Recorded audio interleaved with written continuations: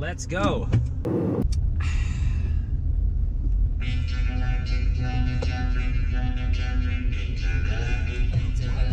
planetary, planetary, intergalactic. Another dimension, another dimension, another dimension, another dimension. Ah!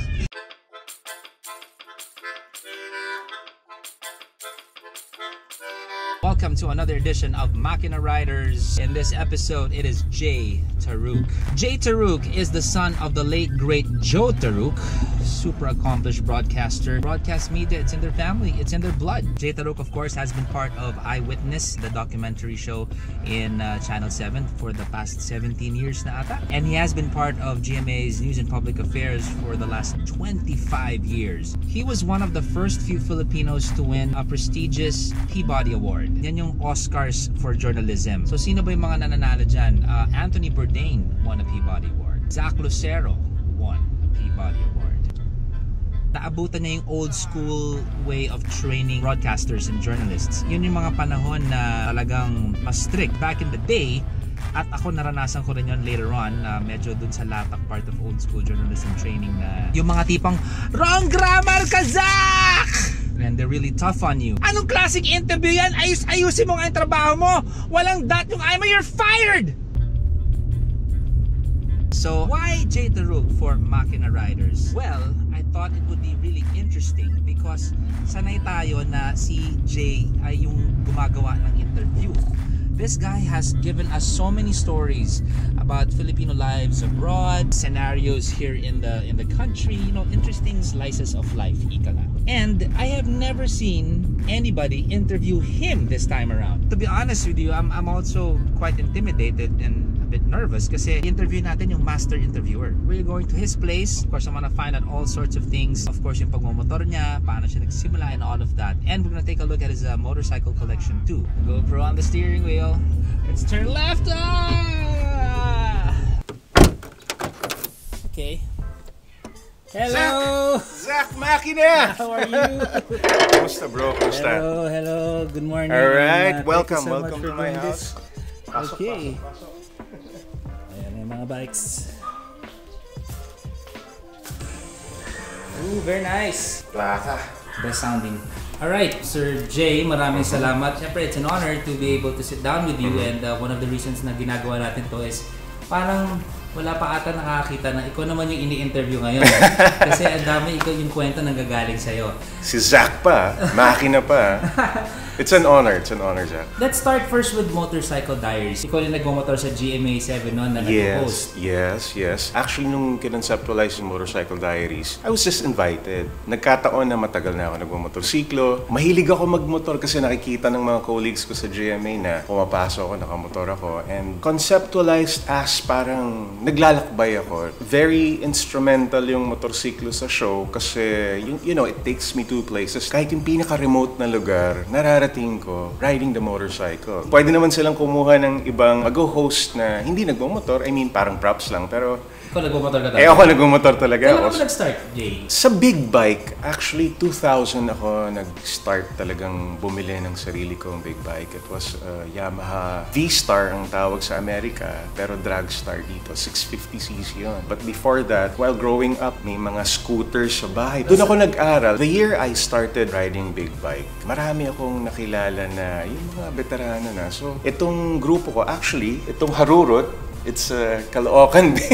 Walang nakakakita na to. But, Wow, but I had this that- tattoo, no? Harurot Riders since 1973 sila. Yung batak na batak na sa mga rides. Ang dami ko natutunan sa kanila.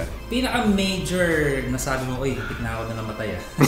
Ganun, wala namang close May mga close call din. Pero dun ka matututo. Pag nakita mo, nako, hindi pala pwede yun. Kaya better na mag-start mo na sa maliit na displacement. Or huwag ka muna mga has na, okay, highway na kagad. Diba? Your limits, Oo, kumbaga. kailangan may disiplina. And we have a lot of young ones right now doing their own vlogs. Yes. The funny thing, even ng Motorcycle Diaries, may mga DIY na rin kayong ginagawa. Oo, Ah, pa- pa- paano pa dati were filming? Kasi hindi, na, Oo. hindi GoPro yun nun eh. Hindi pa, wala pang mga action cam nun eh. Dati talagang mag-iisip kami, tinatali namin sa kawayan o kahoy yung mga camera and meron kaming mga, yung mga sa security cam na parang bilog na nakakabit and then may mahabang kable, itatago mo lang. Nagtatali kami ng goma sa motor, nalalaglagan kami ng camera. So way before everybody was doing this, si Jay Turok na nauna dyan sa mga, sa mga DIY na This is actually the best time, no? This is the age where parang empowered na lahat. self-expression. Oo eh. Madali na eh. I mean, ikaw na yung bahalang umisip kung papaano mo makukwento yung story mo creatively. So, Motorcycle Diaries has now transitioned from that to Ride PH. Yes. Kamusta naman yan? Ang dami naming natutunan kasi sa Motorcycle Diaries na nung time na kinoconceptualize na yung Ride PH, nakuha na namin yung techniques and then na-apply namin sa Ride PH. You know what we're doing and what we're doing sa makina, it's public service actually. Ine-empower natin yung mga kapwa natin rider. We're giving options kung ano yung magandang motor. Sa dami ng binyahin mo, sa dami ng na-ride mo sa buong mundo,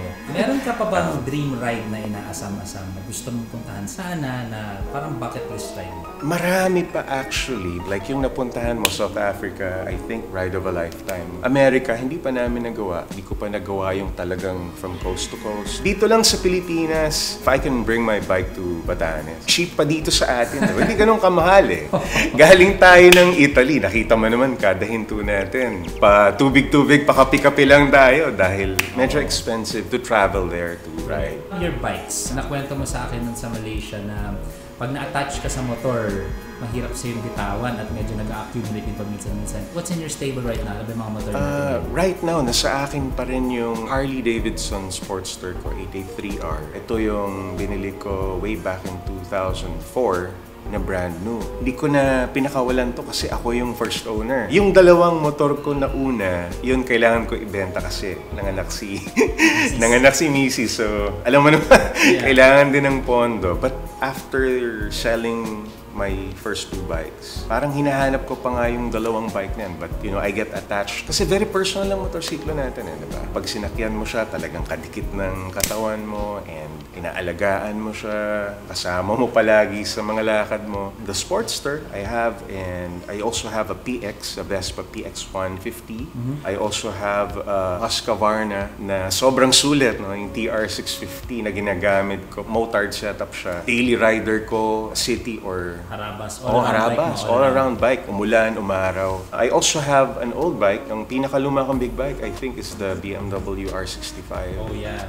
Oh, it's a Mga nananalo 79. yung mga bike mo sa motorboats na yun, di ba? Oh, and yung dalawa sa motorsiklo ko actually nag-join sa Moto Builds. Yung Sportster, nanalo yun, and uh, R65, which is a joy to ride. Mapapangiti ka pag sinasakyan mo, but may mga kaunting sinok, may mga kaunting sira every now and then. But it's an old bike na ano eh, you're happy to ride. And- yung Nuvo. Yeah, you I saw this online. You were uh, restoring a Yamaha Novo. Ano anong year siya? I got this mga 05 na 06. Ginamit talaga namin sa show itong Nuvo na to. Pero napabayaan ko for so many years. Ngayon, pina-restore ko. Keep it uh, running lang. Gusto kong gamitin ulit. Oh wow, okay. Hindi ko to na, hindi mo ma-appreciate ito in in the pictures but it's uh, textured so it's rough. Sino tumira nito? Si uh, Michael Boko. Sarap gamitin, automatic. Well used, well loved. Yung pinakabago kong big bike is the Triumph T100. It's 900cc pero ang sarap din dalhin sa pang-araw-araw, sa mga city riding. Well, I also have a 1969 Lambretta pala. Wow, Yun, yun yung okay. pinakaluma ko, I think. Kakasundo kayo ni Kuya Kim na.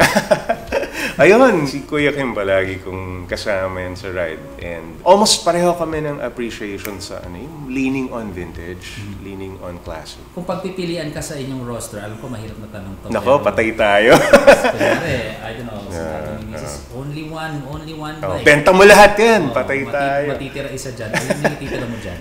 Nako, the Vespa 150. Magugulat ka siguro, no? Isa sa pinakamaliit kong bike. Pero hindi pa ako itinirik, no? Napaka-reliable. And I think doon nag-meet yung mga hilig ko among my interests, no? Nakita mo, mahilig ako sa art, mahilig ako sa music. I think yung, yung motorsiklo na yun, parang nagkita-kita sila. If ever lang naman dyan, clutch cable lang naman. eh. Palagi! Oh, pa, bawang na tayo clutch cable. Oo, oh, mapuputol lang bigla. yun yung nakakatuwa. Pero, Small things. Oo. What is your advice to all motorcycle riders? Yung mga nagmumotor at nagdo-documentary ng kanilang mga, mga ano namin, may mga sarili silang mga channels. Explore. Kumonekta ka dun sa mga grupong hindi mo pa nakakasama marahil or di kaya become active dun sa let's say may kahit breakfast ride lang. Ang dami mong makukuhang istorya eh. Ang sabi ko nga, nasa bakuran lang natin ang storya ngayon dahil ang dami nagmamotor. All you need is to bring your cellphone, your camera. Hindi mo na kailangan maging isang dokumentarista. I mean, look at Zach, may banda siya. But ayun, yung hilig mo lang to tell the stories of other people and other riders. The best. Huh?